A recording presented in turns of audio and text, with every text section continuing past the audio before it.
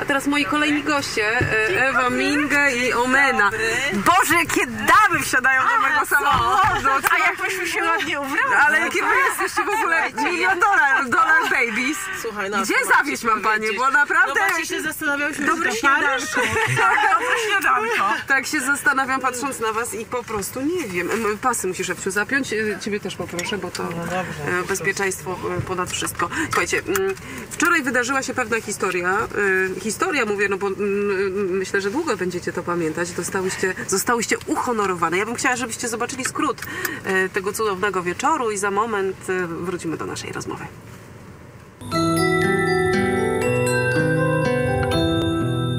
Dobry wieczór Państwu. Witamy Państwa ze ścianki prasowej Czerwonego Dywanu, rozwiniętego przed warszawską operą kameralną.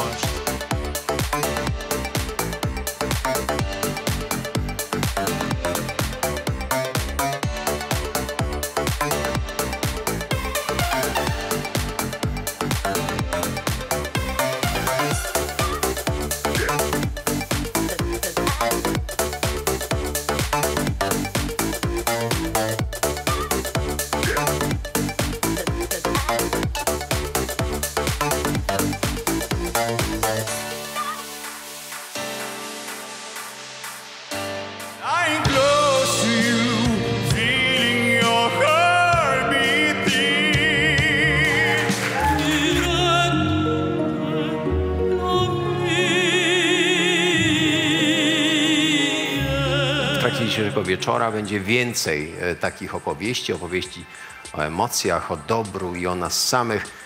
Będzie tego więcej niż ktokolwiek się z Państwa spodziewa. To jest moja druga gwiazda Plejady i sprzed wielu lat mam pierwszą właśnie za ten cały bliks i e, osiągnięcia w modzie poza granicami Polski. Ja marzyłam o tym, żeby ktoś e, w polskich mediach, żeby ktoś się obudził i zauważył te prawdziwe gwiazdy. Tegoroczna Wielka Gala Gwiazd Plejady Anno Domini 2021 będzie toczyć się pod hasłem rewolucji. Nie będzie kategorii. Będziemy snuć opowieść, opowieści o miłości, o bezinteresowności, o szlachetności, o współczuciu. Gwiazdę Plejady otrzymuje założyciel fundacji Przemyk Dzieciom, pan Przemysław Szaliński.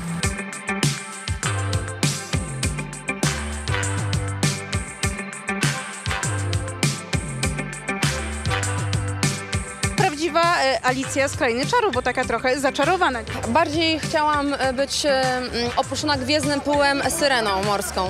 Czyli to jest strój na taką powiedzmy naszą polską Wenus. O tak, o tak!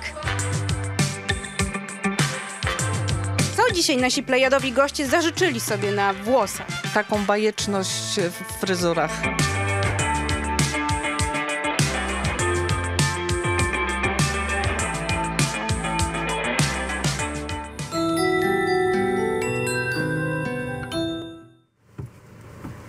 No i tak e, wyglądała wczoraj e, plejada, wielka plejada gwiazd. Jeszcze raz dziewczyny, wyspane? Dzień dobry. Oczywiście. Bardzo oczywiście. A jak się spało ze statuetką? Teraz mi opowiedzcie. ja, ja z moim synem. O, to jest Wpadł prawdziwa rano. Tak, ale rano mnie pytał, słuchajcie, co to jest? Mówi, mama, zobacz, gwiazda. A ja mówię, no tak. I mu opowiadałam, pokazywałam zdjęcia i tak dalej. Ewciu, a ty spałaś ze swoją statuetką? E, oczywiście, ja stałam ze swoją statuetką pod poduszką, żeby się rozmnożyła i w ogóle, żeby te wszystkie idee, które ta statuetka zawiera, weszły mi na pewno do głowy, żebym o tym nie zapomniała. Nie, cudowne przeżycie. Myślę, że um, Szapobaja, już to wczoraj powiedziałam e, na, na gali, że e, Marcin Cejrowski z całym tutaj mówił supportem e, i, i, i oklaskami Onetu całego, wpadł na pomysł, Super żeby wreszcie przerwać te gwiazdy za łokieć, stylizację, paznokieć, ilość okładek, aktywność w sieci. E, trochę takie Tylko bez żeby powodu. pojawiła się treść. Żeby się pojawiła treść. Nie, żeby się powia- pojawiły, słuchajcie, realne czyny, które ktoś e, po prostu dowozi i coś naprawdę robi. Bo tak naprawdę dzisiaj każdy z nas jest w social mediach, każdy z nas e, znajdzie chociaż chwilę czasu, żeby coś tam wrzucić. Natomiast tak naprawdę, żeby znaleźć czas i poświęcić go komuś i czemuś, co tak naprawdę nam niczego nie daje, tak? No bo umówmy się, że te wszystkie lajki gwiazdom co przynoszą? No profity finansowe. No to jest uważam sztuka dziś. No dobrze, ale y, żeby tak zacząć, to trzeba wierzyć w, w pewne y, rzeczy, w pewne czyny, w pewne idee. Trzeba najpierw to sobie gdzieś tam powymyślać, a potem uwierzyć i jeszcze przekonać innych po drodze. I tak samo było, przypuszczam, i w twoim, i w twoim przypadku. Ja pamiętam, jak zaczynałaś budować szkołę i chodziłaś z takimi kartonikami i pokazywałaś, a taką wybuduję, gdzie wgania wszyscy, aha, wari- wariatka. Y, nie- nie mogłabyś czegoś bliżej albo coś bardziej realnego? Przecież, żeby postawić wielki budynek i go utrzymać, to trzeba gigantycznych pieniędzy. I pewnie z tobą było tak samo. Wiesz co, ze mną to troszkę było inaczej. Dlatego, że ja moją taką idolką e, była babcia Irenka. Babcia Tosia też, ale z babcią Irenką, spę- jak to wiesz, z mamą mamy, spędzałam dużo więcej czasu. Jako mała dziewczynka widziałam jej naturalne odruchy, e, kiedy bardzo pomagała. Babcia miała taki sklepik malutki i w tym sklepiku często przychodziły takie trzy małe dziewczynki. One były takie, no, no nie wiem, 3, 4, 5 lat. Takie trzy siostry przychodziły rok po roku i e, kupowały kilogram ziemniaków. I moja babcia, one były stosunkowo małe, mówiła, po zamknięciu sklepu idziemy do tej rodziny. E, No i szłyśmy do tej rodziny, brała mnie za rękę, ja może miałam tam z 7 lat, 8 i targała siatki jabłek, ziemniaków, jakichś innych owoców, warzyw. Pomagała tej rodzinie, bo tam było pięcioro tych małych dzieci. No i jak kilogram tylko na ziemniaków ziemniaki. Mhm. na siedem osób, siedmioosobową rodzinę. Tam była chora matka, chory Mhm. ojciec, bardzo porządni ludzie, czyściutko w domu i tak dalej. I widziałam różne, w zasadzie całe życie moja babcia pomagała. I ja się wychowałam, wiesz, moja idolka, więc ja byłam taką pomagaczką. Na, w liceum chodziłam do domu dziecka na weekendy i, i bawiłam się z małymi dziećmi w domu dziecka. Na studiach regularnie pomagałam jako wolontariuszka w hospicjum. No a później to już jakoś tak sama stwierdziłam, że mam na tyle siły i werwy, że, że mogę pomagać, a nie ukrywam, piszę to w swojej autobiografii, której nie ma już na rynku. Mówię to w wielu wywiadach. Bo się pisze dalej, życie je pisze. Życie, Wiesz, poczekaj, życie, będzie tak. zaraz druga część. ale, ale zawsze powtarzam, że mój zawód, którego staram się opierać o sztukę, ale mimo wszystko ten mój zawód, e, który wykonuję od 30 lat, jest taki niepoważny. Ja zawsze, ja chciałam być lekarzem, nie dostałam się na medycynę. Chciałam w zupełnie innym zawodzie pracować. E, Długa historia, dlaczego później zrezygnowałam e, z kolejnych egzaminów po przepracowaniu tam w szpitalu 8 miesięcy. Doktor Minga miała być? Doktor A co, a co byś leczyła? Duszę, ciało? Chirurgiem dziecięcym chciałam być. No, taka chirurgiem dziecięcym i głównie chciałam się zajmować oparzeniówką. To też przepracowałam jako wolontariuszka Ewa w szpitalu świętego Wojciecha. E, między innymi była tam świetna oparzeniówka, szpital dziecięcy. E, była tam świetna Ty oparzeniówka. zaskakujesz za każdym razem. Tak, i te struktury... Doktor Ewa, wolontariuszka Doktor Ewa, Ewa. No, Tak, wolontariuszka Ewa i te struktury mi e, e, nie do końca ta hierarchia to wszystko pasowało. W związku z tym no, robię, wykonuję zawód, jaki wykonuję i on jest dla mnie niepoważny. Ja rozumiem, że pięknie kreacje, że szata zdobi, e, ale wszystko rozumiem. Natomiast w moim odczuciu wewnętrznym To potrzebowa- tak, potrzebowałam prostu. Prawdziwych wartości, które nie będą zewnętrzne, a Prawdziwych wewnętrzne. emo- emocji. Prawdziwych emocji. Mhm, Wrażliwości pewnej. Tak. Jak To ja słuchajcie, u mnie było inaczej zupełnie, bo u mnie z kolei e, ja z takiego domu, domu się wywodzę, w którym e, w ogóle edukacja była zawsze bardzo ważna. Mój tata kardioterakochirurg, moja mama wyższe wykształcenie też, inżynier, natomiast e, u mnie to było minimum magister. No dobra, to tylko magistra ogarnęliśmy, tak? Natomiast u mnie to pomaganie przyszło, słuchajcie, dokładnie w wieku 32 lat. A co się wtedy stało? Dokładnie. Chyba się rozwiodłam. Jakoś tak mniej więcej.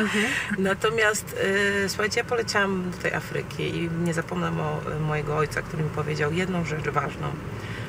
Pamiętaj, jak polecisz do Afryki, to nie wrzucaj z muchą na czole, ze spłudniętym brzuchem. Pokaż piękno tego kontynentu i pokaż potrzeby prawdziwe. Jak ja tam poleciałam, jak, e, no tam długa historia, nie ma dzisiaj czasu na to, szukałam w ogóle miejsca, e, w którym chciałabym e, zrealizować swój projekt. No i poznałam Salezjan, poznałam księdza Piotra, który mi, ateistce, że tak powiem, A ja myślałam, że ty tutaj- zaimponował. Ja myślałam, że ty tutaj nawiążesz do wiary. Ty jesteś osobą Nie, wierzącą? nie, ja jestem ateistą. E, mi jako... Czyli to nie jest, to, to nie wiara popchnęła cię do tego, żeby Nie. bardziej... Ja uważam, że każdy ma swoją filozofię. Jedni to nazywają wiarą, Mhm. a inni nazywają to po prostu sposobem na życie. Tak? E, Moja wiara to po prostu trzeba być przyzwoitym człowiekiem i tyle. E, Natomiast ksiądz e, Piotr, genialny w ogóle człowiek, który mi właśnie pokazał ośrodek, pokazał mi to, co tam robią i powiedział mi jedno zdanie. Omena tylko brakuje nam tu szkoły. Słuchajcie, u mnie nie było sekundy. Ja wam powiem tak, w życiu jest tak, że trzeba mieć wielkie marzenia, ale to, że sobie nie zdajemy sprawy z tego, jak trudne to marzenie jest do zrealizowania, jest naszą największą siłą. Bo gdybym ja sobie wtedy zdawała sprawę, Na co ja się porywam? na co ja się porywam, pewnie bym tego, e, pewnie bym tego, pewnie bym tej decyzji nie podjęła. Natomiast taki wewnętrzny mój głos, to, że jestem właśnie Ashanti i to, że obiecałam tym dzieciom, Nie pozwoliło Nie ci się pozwolił wycofać. mi tego Ale rozumiem, że wycofać, były takie tak. momenty, w których mówiłaś, Boże, y, dlaczego ja to robię? Ja- Jak dużo pieniędzy musiałaś zebrać w Słuchaj, no, sumie? Prawie z półtora miliona y, zebraliśmy, ale to nie chodzi o to, bo z jednych, dla jednych to jest dużo, dla innych to jest mało, tak? To chodzi o to, że to są pieniądze, które zostały wydane za granicą Polski. Wiemy doskonale, co się dzieje, słuchajcie, teraz na naszej granicy. Wiemy, jak, jakie mamy... o po- formalnościach, które po prostu... Mhm. E, Tak, wiemy jaką, że tak powiem, mamy mentalność. Ogólnie to, co ja słyszałam na początku swojego projektu było tak, a po co ta szkoła w Ganie? A tutaj w Polsce nie możesz tej szkoły zbudować? A dlaczego tam? I ja tłumaczyłam ludziom, słuchajcie, u nas edukacja jest darmowa. Do 15 roku życia każdy człowiek młody ma szansę się wykształcić. Tam czegoś takiego nie ma. Tam te dzieci są przedmiotem handlu, niewolniczo pracują. One nie mają szansy nawet czytać i pisać czasami do 15 roku życia. Ja im to chcę dać. Moja szkoła jest naprawdę Ale wyjątkowa. wiecie, że takie wydarzenia jak wczoraj, to, że zrobiłyście każde swoje, y, to, że zostało to nagrodzone, to teraz to zobowiązuje. Tak. I co dalej? O, u mnie dalej to jest plan taki, że jak słucham Omeny, jak ona się porwała z motyką na słońce, ja się dopiero porwałam z widelcem na słońce, ponieważ mam e, potężny budynek, e, zabytek e, klasy zerowej i w odróżnieniu od Omeny nie jestem ateistką, jestem osobą bardzo mocno wierzącą, aczkolwiek mój Bóg jest bardzo specyficzny. To nie na tą rozmowę myślę i e, planuję zrobienie centrum odnowy duchowej. Nie chodzi to, żeby to było centrum czysto chrześcijańskie, aczkolwiek ten budynek jest e, przy przepięknym kościele. Wymaga kilkunastu milionów na remont, żeby go wyremontować, ale ja widzę, jak ogromną potrzebę w mojej fundacji przez te wszystkie lata i przez te wszystkie lata, kiedy pomagam, stanowi głowa. Ile zależy od tego, przypomnę, że zajmuję się osobami chorymi onkologicznie, e, ale też e, od, od wielu, wielu lat pracuję z młodzieżą, która jest wyjątkowo uzdolniona, a pochodzi z takich dość ciężkich, trudnych, patologicznych często środowisk. E, I jak ważni w naszej fundacji są psycholodzy, jak istotne jest wzmocnienie emocji, wzmocnienie siły wiary w siebie. W związku z tym wymyśliłam sobie, że powstanie takie centrum odnowy duchowej, gdzie każda religia będzie miała swoje miejsce. Ale żeby tutaj teraz nikt, bo wiesz, teraz ty to powiedziałaś, postawiłaś kropkę, a później y, media napiszą Mingę zakłada sektę. Nie, no nie. Centrum Odnowy Duchowej głównie będzie się opierało na nauce, czyli będziemy mieli tam do czynienia z świetnymi psychologami, grupą psychologów, będziemy mieli do czynienia e, z psychiatrami. E, odnowa duchowa ze względu na to, w jakiej kto będzie religii i, i czy, czy, czy będzie ateistą, czy nie ateistą, miewasz takie momenty w swoim życiu tak zwanego załamania. Różnych, e, z różnych powodów. Albo masz wszystkiego serdecznie dosyć. Wydaje ci się, że świat jest B, że nie wiem, właśnie się rozwiodłaś, e, rozwiodłeś, nie wiem, wyrzucili cię z pracy, albo chcesz zmienić pracę, albo nie wiesz, co zrobić z tymi swoimi milionami e, i masz już serdecznie dosyć i, i postanawiasz zmienić życie. I przyjeżdżasz do takiego miejsca, gdzie nie masz luksusowych warunków. Ja to sobie wyobrażam, ponieważ to jest e, były klasztor pocysterski. Ja to sobie wyobrażam, że w tym miejscu będą się znajdowały e, prawie że cele.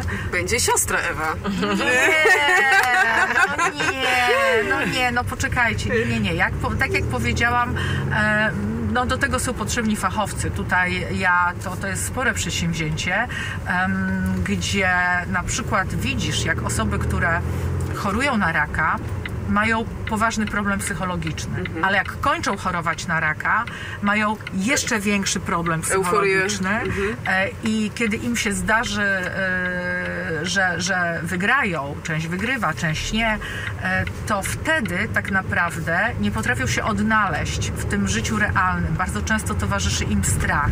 I taka odnowa duchowa, taka odnowa psychologiczna, takie znalezienie samego siebie bez wsparcia mocy nadprzyrodzonej na bazie nauki Ale zobaczcie, że, że wy obie mówicie tutaj o pewnej wierze, o wierze we własnego Boga, bo tak jak Omena powiedziała, jest ateistką, ty wierzysz. E, Do tego wszystkiego potrzebna jest wiara.